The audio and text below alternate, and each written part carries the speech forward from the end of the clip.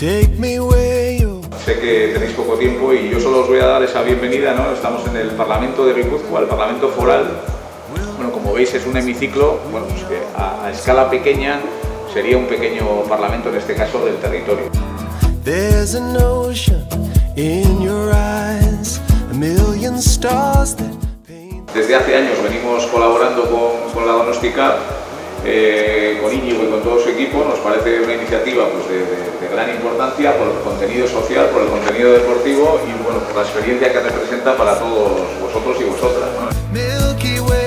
En esta ocasión damos la bienvenida a un equipo que se ha formado con chicos que, de diferentes procedencias, la mayoría inmigrantes. Y bueno, nos gustó mucho, ya habíamos tenido anteriormente a gente de los Dragones, a pequeñitos. Fue un poco antes de la pandemia, ¿no? cuando se formó este grupo.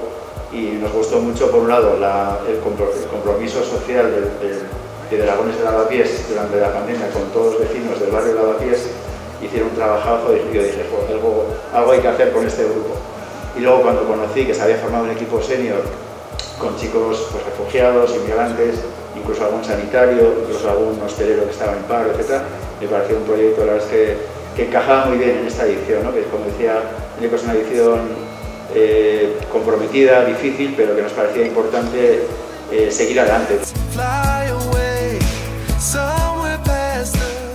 Se agradece mucho por la invitación, es una buena experiencia para mí, sobre todo, eh, no sé cómo agradecerlo, porque es que la verdad, sinceramente, era un sueño mío desde pequeño jugar un torneo grande como Donosti Cup.